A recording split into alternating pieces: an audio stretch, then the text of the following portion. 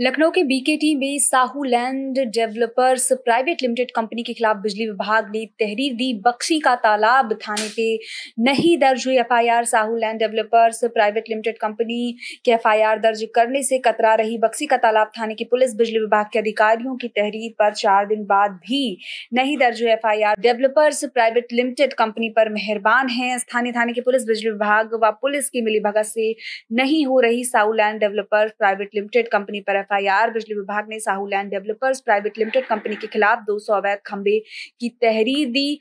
Sahu land developers private limited company में बिजली विभाग के बिना अनुमति के लगे हैं बिजली के खंबे। वहीं जो बिजली विभाग की तहरीर पर बिजली विभाग के अधिकारियों को टहला रही है पुलिस। सर एक शिकायत अभी साहू डेवलपमेंट्स के खिलाफ आपने दिया था। जी। अभी तक मुकदमा दर्ज नहीं हुआ क्या कुछ पूरा सर मामला है? इसमें साहू डेवलपर्स ने जो है बिना विभाग की अनुमति के उसने खंबे खड़ा कर लिए हैं।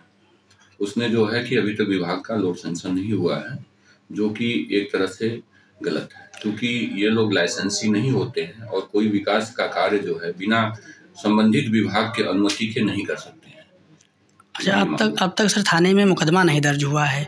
इसको लेकर के अपने अधिकारियों से बात किया सर? जी मैंने बात किया था और हमने सबके अधिकारियों के संज्ञान में भी है सबके संज्ञान में है हमारे जितने भी उच्च अधिकारी हैं सबके संज्ञान में है ये मैटर और थाने की जो तहरीर हम लोगों ने जो है जैसे हमारे संज्ञान में आया हमने इसको दे दिया है। ऐसे तो सर जो ये लोग हैं डेवलपर्स वगैरह तो ऐसे तो तमाम जो है मामले सर बीकेटी से अगर देखे जा सकते हैं।